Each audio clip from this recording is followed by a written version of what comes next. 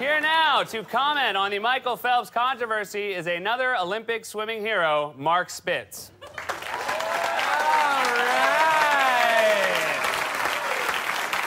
Yeah, the Spitz has hit the fan. Oh, uh, uh, Mr. Spitz. Oh, please, Seth.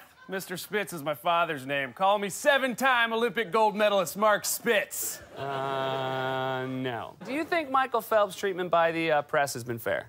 No, I do not. He's a kid, so what if he smoked a little grass? We all got crazy in our youth. Okay, are you saying you engaged in inappropriate conduct while you were an Olympian? Do I need to say it?